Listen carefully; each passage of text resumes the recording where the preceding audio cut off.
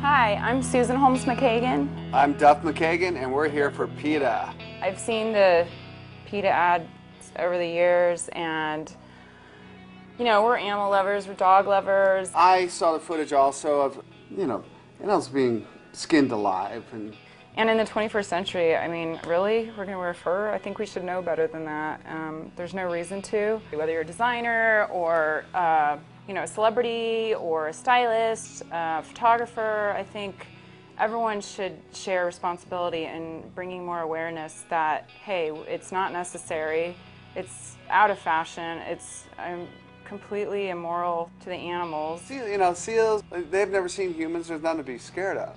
They just sit there. Oh, And the babies, you know, they can't do, do anything. And I think our kids are, are much more aware of things like this than we were.